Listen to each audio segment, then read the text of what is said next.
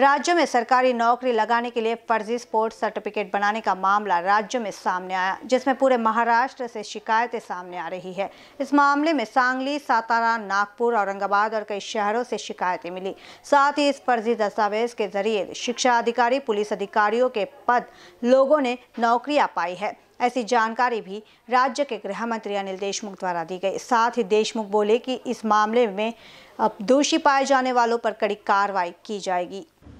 असं आहे की बनावट स्पोर्ट्सचे सर्टिफिकेट तयार करून शासकीय नोकरीसाठी त्याचा वापर करून नोकऱ्या मिळण्याचे काही तक्रारी आमच्याकडे आल्या आहेत. अशा तक्रारी औरंगाबाद नागपूर सांगली सातारा अशा ठिकाणच्या तक्रारी सध्या इथे आलेल्या आहेत. औरंगाबादला जवळजवळ तीनशे तक्रारी आल्या आहेत. नागपूरला सुद्धा तक्रार तक्रारी आल्या आहेत. नागपूरला आणि याच्यामध्ये जवळजवळ आता कारवाई चालू झाली आहे. संपूर्ण चौकशी करतोय करतो आम्ही. की याच्यामध्ये कशा पद्धतीनं बनावट स्पोर्ट्सचे सर्टिफिकेट घ्यायचे आणि त्याचा वापर करून शासकीय नोकरी मिळवायची याच्यामध्ये ते एक तर block education officer P I P S I अशा सुद्धा नोकरी त्याच्यामध्ये यांना या खोट्या सर्टिफिकेटच्याद्वारे मिळालेल्या आहेत. याची संपूर्ण चौकशी आम्ही करतो आहे सध्या आठ लोकांना नागपूरमध्ये अरेस्ट केलेली आहे. औरंगाबाद येथे सुद्धा अतिशय चांगली कारवाई चालू आहे.